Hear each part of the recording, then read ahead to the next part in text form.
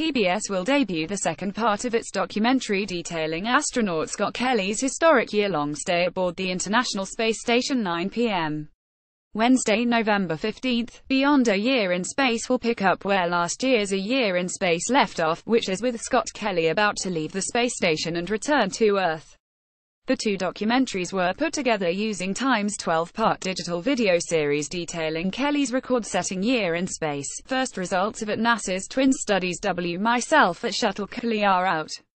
Turns out we are related but there's more https t.cuv87995qrpic.twitter.com fag2s6mmw Scott Kelly at Station CD Arkley January 28, 2017 A Chronicle of astronaut Scott Kelly's 12-month stay on the International Space Station, which is laying the groundwork for a manned mission to Mars, as well as his training for the mission and return to Earth. The show's synopsis reads.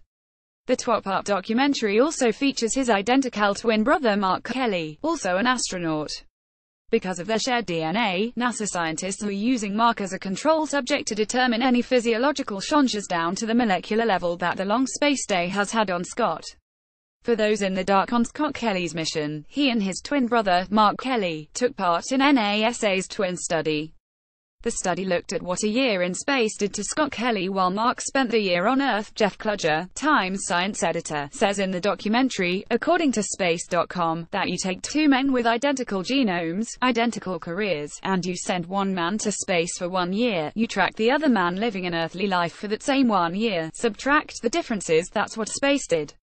Beyond a Year in Space official teaser trailer PBS The U.S. Space Agency's Twins study represented a partnership between 10 individual investigations, 12 colleges and universities, NASA's biomedical labs and the National Space Biomedical Research Institute Consortium. Beyond a Year in Space takes a deep look at one of humanity's greatest scientific achievements and provides a lens into Scott Kelly's personal journey, and what it means for the next generation of astronauts training for Mars and beyond. Beth Hopper, Chief Programming programming executive at PBS, said in a news release PBS reports that the data NASA gathered from the study will help them understand the challenges and identify any possible solutions for humans to endure long-duration space travel, beyond a year in space touring the Launchpad PBS while the documentary will initially air at 9 p.m.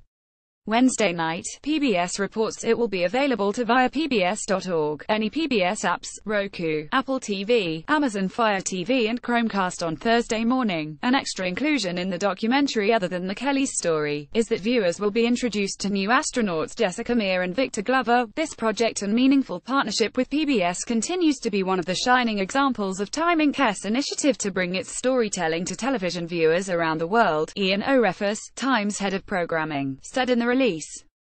The gripping story of Scott Kelly and the future of space travel is one of importance that touches all of humanity.